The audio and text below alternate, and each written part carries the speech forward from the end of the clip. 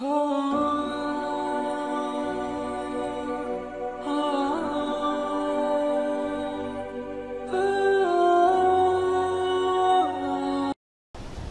علیہ السلام نے پوچھا، یا اللہ، تیرے ناراض ہونے کی نشانی کیا ہے؟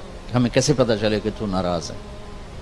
تو اللہ تعالیٰ نے فرمایا، جب تو دیکھے کہ بارش بغیر موسم کے ہو رہی ہے اور حکومت بے وقوفوں کے پاس ہے اور پیسہ بخیلوں کے پاس ہے، تو تم سمجھنا کہ میں ناراض ہو چکا جب بارش بے موسم ہو، بے وقت ہو، حکومت نکموں کے پاس ہو، پیسہ بخیلوں کے پاس ہو، تو سمجھو میں ناراض ہوں۔